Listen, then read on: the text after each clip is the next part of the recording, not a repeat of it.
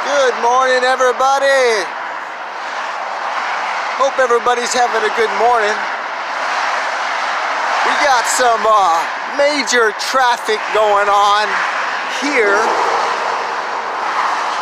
I'm, in, I'm on the bridge of Onion Creek and Highway 35, and uh, you know, I frequent, I, I go here a lot and I just haven't seen the traffic this bad in a long time. Today's Wednesday.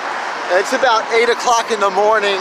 And uh, usually the traffic has died down. I don't know if there's an accident or what, but you gotta love Austin. If you wanna move to Austin, woo, be prepared because our little highway 35, I don't think they calculated the growth of the city when they when they made this highway years and years ago. As you can see, it's just not big enough. It needs like two more lanes, you know, like the like the Houston highways. But yeah, uh, it's uh, it's some traffic. but That's that's just Austin for you. Ah man, woo! Look at that. Isn't that lovely? Austin rocks. Nah, we love Austin. Austin, Texas, baby. But we don't love the traffic.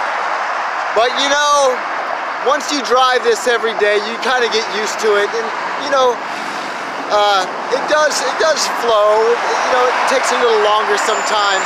There, there's probably an accident up the road 35, but yeah, it's uh, definitely it's pretty bad this morning. So even the access road is. Uh, even the access road is pretty bad. As you can see, the access road is completely stacked. Now, this traffic is all the way into Kyle. And uh, it's just, it's pretty bad. It's pretty bad this morning, but you know, it gives you time to think while you're sitting in the car and you're just sitting there listening to the radio. You know, just uh, be thankful that you have a car and that you have gas and you have food to eat. You know, some people aren't as fortunate. So just give thanks.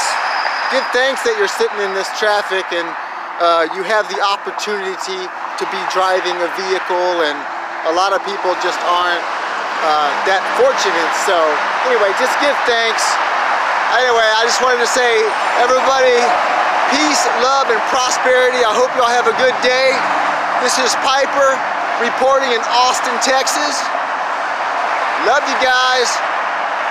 Peace.